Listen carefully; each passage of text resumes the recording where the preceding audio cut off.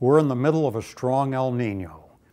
We're past the exact peak for the sea surface temperature departures from normal. That happened in November and early December. Now we're just a little bit weaker, but boy, we're by no means back to moderate. We're still very strong. And it's, it's going to be a, a broad peak. It's not going to really start declining quickly, probably until end of February and March. We, had a, we have a lot of months left before it goes back to neutral which will probably happen in May or June. So during all these months, we have plenty of opportunity for climate effects around the globe.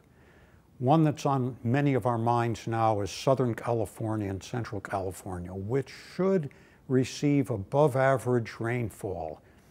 That effect is more in the later part of the winter than the early part, and indeed, we're getting some of it now.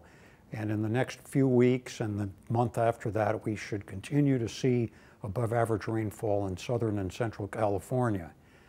Northeast Brazil is going to be developing below normal rainfall in between March and May, especially in association with this event.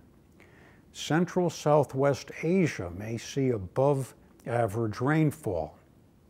That includes northern Afghanistan, Pakistan, and some of the other stands, and extreme northern Kazakhstan, the biggest stand of all in terms of geographical area. We're going to have continued dry in Indonesia, but it's not as important anymore because their climatological average rainfall is becoming higher. Northern South America, below normal rainfall, and above normal in Uruguay and southern Brazil. Strong El Ninos typically take longer in the spring to decline back to neutral than moderate and weak El Ninos. And that's why this one may last at least five months into this year of 2016. That gives places having the spring impacts more chance to express those impacts.